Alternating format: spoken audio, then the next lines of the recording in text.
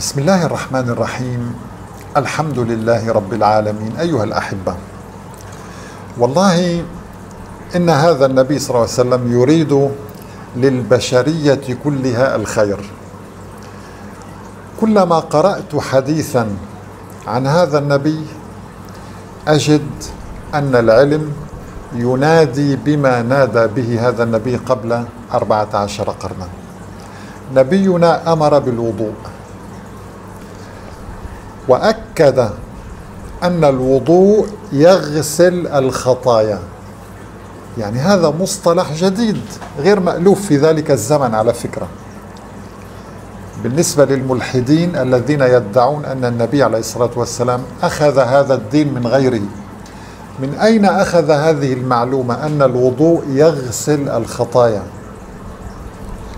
العلم الحديث يؤكد ما أكده النبي عليه الصلاة والسلام بشيء يعني شيء غريب جدا.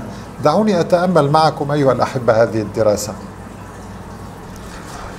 الدراسة طبعا الأمريكية نشرت في مجلة العلوم الأمريكية عام 2010 العلماء يقولون إن غسل اليدين يمكن أن يساعد الناس قولا وفعلا بتنظيف أنفسهم من المخاوف من القلق من الخوف من القرارات التي اتخذوها سابقا على الأقل ولو بصورة مؤقتة يخلصهم من هذا الخوف وهذا التردد وهذا القلق.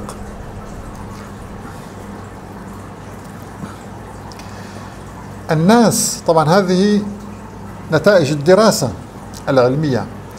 الناس الذين يغسلون أيديهم مرات عدة في اليوم للتخلص من البكتيريا والجراثيم التي علقت بأيديهم لسبب أو لآخر يرتبط هذا بحالتهم النفسية. فالباحث سبايك لي من جامعة ميشيغان يوضح أن هذا السلوك الرمزي لغسل اليدين له ارتباطات ثقافية ولكن وجدت دراسة أخرى أجريت عام 2006 نشرت في مجلة العلوم Science أن غسل اليدين يمكن أن يساعد على الشعور بوضع أفضل يتحسن شعورك أيها الإنسان تجاه سلوك غير اخلاقي ارتكبته في وقت سابق. كأنك تتخلص من الخطايا. انظروا أيها الأحبة. ويقول هذا الباحث الأمريكي في هذه الدراسة عندما يرتكب الناس افعالا سيئة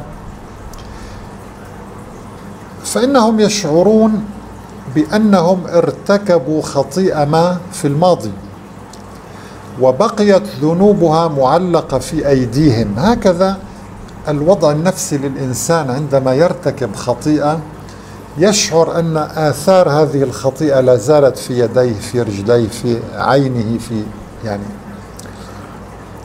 فعن طريق غسل الأيدي كما يقول هذا الباحث فإنهم كأنما يغسلون هذه الخطيئة ويتخلصون من هذا الماضي للتخلص من عقدة الذنب. وهذا له أثر كبير في علاج الاكتئاب أيها الأحبة.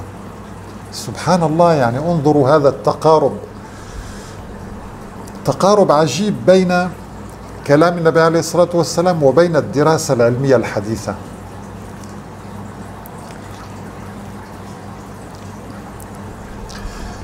وتقول هذه الدراسة أيها الأحبة ما ملخصه أن غسل اليدين وغسل الوجه وغسل الجسد بشكل عام يساعد الناس في التخلص من آثامهم والنظر في خيارات أخرى قرروها وكانت أكثر إيجابية.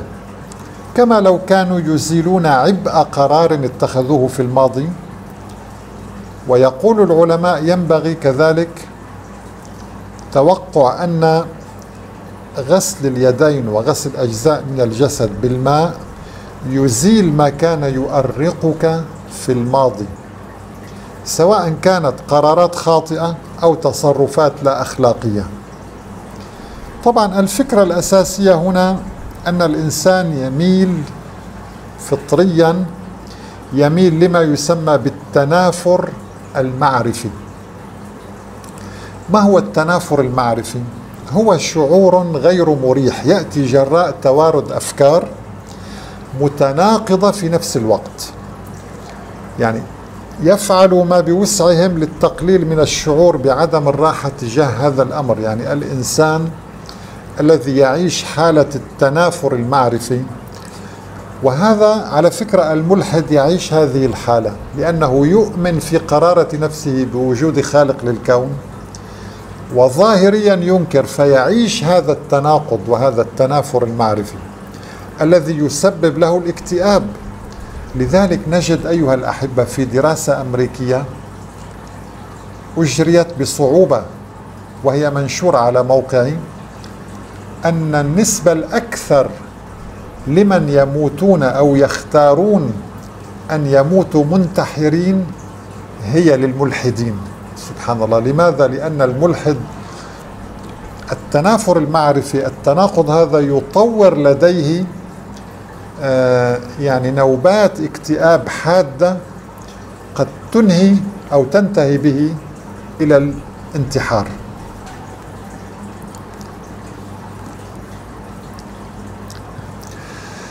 الآن أيها الأحبة وجدنا حقيقة علمية تقول بأنك عندما تغسل يديك ووجهك وأجزاء من الرجلين فإن هذه العملية عندما تكررها تزيل أخطاء الماضي تتخلص من آثار القرارات الخاطئة عقدة الذنب. منهم من يحب أن يسميها عقدة الذنب هكذا.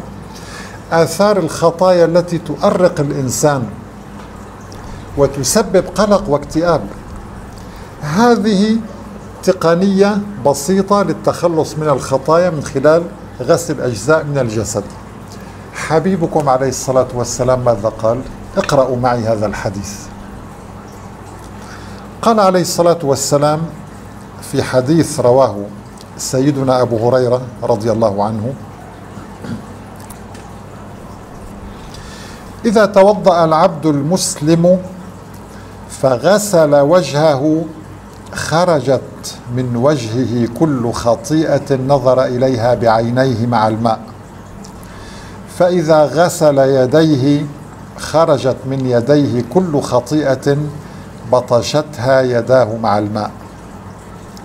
فإذا غسل رجليه خرجت كل خطيئة مشتها رجلاه مع الماء حتى يخرج نقيا من الذنوب هذا الحديث رواه الإمام مسلم رحمه الله. طيب والله أيها الأحبة هذا الكلام جميل ولطيف وكلام علمي. لماذا؟ يعني أنا أعجب من إنسان ينتقد هذا النبي الكريم. ما الذي فعله هذا النبي إلا أنه أعطاك تعاليم لصيانة نفسك للتخلص من الخطايا لإبعادك عن الشر؟ طيب أليس هذا النبي جديرا بالإحترام؟ أليس جديرا أن تطبق تعاليمه حرفيا؟ لماذا نقبل الدراسات الأمريكية ونقول هذا ساينس علم؟ وعندما تأتي نفس نتائج هذه الدراسة من نبينا عليه الصلاة والسلام نقول إن هذا يعني آه إنه الدين بينك وبين خالقك أو أن هذا النبي يكذب كما يدعون حاشا لله طبعا. أو أن هذا النبي يعني يفتري على الله أو أنه يعني تصوروا من من يعني شيء مضحك. أنني عندما أسمع لهؤلاء الملحدين يقولون إن هذا النبي يأخذ معلومات من غيره هذا النبي لا يعرف ماذا يقول هذا النبي كذا كذا كذا. تهم فارغة يعني لا لا تستحق مجرد أن تطلع عليها ولا تستحق أن يرد عليها طبعا. طيب نحن نقرأ أحاديث هذا النبي. كل أحاديثه خير كلها تتفق مع العلم. إذا ما هي المشكلة؟ إذا المشكلة أيها الأحبة ليست في هذا النبي. اسمعوا لقول الله تعالى الذي حلل لنا هذه المشكلة. قال تبارك وتعالى قد نعلم إنه ليحزنك الذي يقولون صلى الله عليه وسلم. والله إننا نحزن عندما نشاهد هذه الاتهامات التي يسوقها الملحدون ظلما وعدوانا وافتراء على هذا النبي صلى الله عليه وسلم. لذلك الله أنبأه وأنبأنا قال هناك ملحدون سيتهمونك أيها النبي بأشياء ليست منك. قد نعلم إنه ليحزنك الذي يقولون. فإنهم انظروا إلى إلى تحليل علمي للمشكلة وتحليل نفسي لعقليه الملحد. فإنهم لا يكذبونك يا محمد صلى الله عليه وسلم. فإنهم لا يكذبونك ولكن الظالمين بآيات الله يجحدون. سبحان الله. والله هذه الآية تلخص نفسية كل ملحد وكل ملحد في قرارة نفسه يدرك أن هذه الآية حق ويدرك أنه يفتري على هذا النبي. والله وأنا صادق في هذا اليمين أن كل ملحد يعرف في قرارة نفسه. طبعا وأنا من أين تأكدت؟ لأن الله هو الذي أخبرنا. وجحدوا بها واستيقنتها أنفسهم ظلما وعلوا. ظلم وعلو استكبار.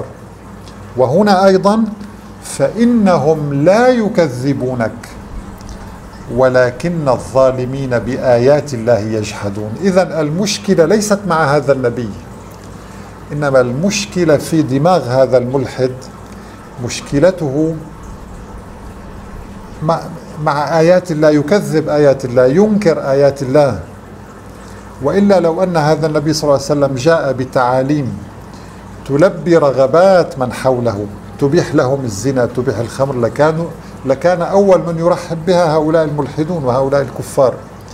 ولكن عندما تأتي هذه التعاليم مناسبة لمصلحة البشر البشرية جمعاء فإن قسما من هؤلاء الملحدين يرفض هذا النبي يتهمه زورا وبهتانا بأشياء لا تصح ليس تكذيبا له ولكن كما أخبرنا الله فإنهم لا يكذبونك ولكن الظالمين بآيات الله يجحدون. نسأل الله تبارك وتعالى أن نكون مصدقين بآيات الله وأن يجعلنا مدافعين عن آيات الله تبارك وتعالى.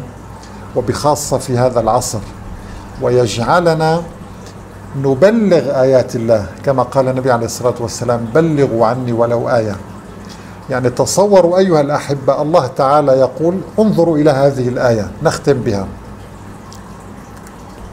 يا عبادي لا خوف عليكم اليوم ولا أنتم تحزنون. الذين آمنوا بآياتنا وكانوا مسلمين.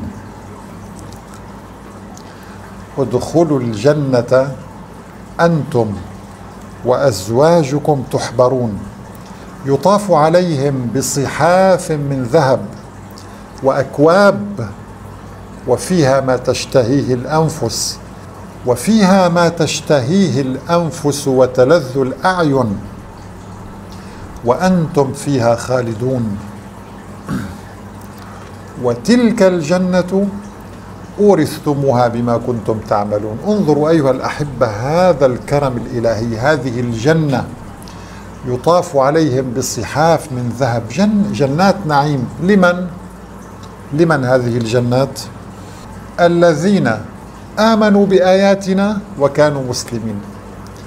مجرد أن تؤمن بآيات الله وتعترف بأنك مسلم لله تعالى تدخل هذه الجنات. سبحان الله فكيف بمن يؤمن بآيات الله بل ويدافع عن آيات الله ويبلغ آيات الله وينشر إعجاز هذه الآيات ما هو الجزاء؟ لذلك أيها الأحبة نصيحتي لكل إنسان أن يعمل شيئا للآخرة يعمل شيئا لقبره. أن ينشر هذا العلم لا يترك هذا العلم لمجرد القراءة أو الاطلاع. قدر المستطاع انشر ولا تدري مثل هذه الفيديوهات من ينفع الله بها. لا تدري أين تذهب ومن يستفيد منها ومن يهتدي بها.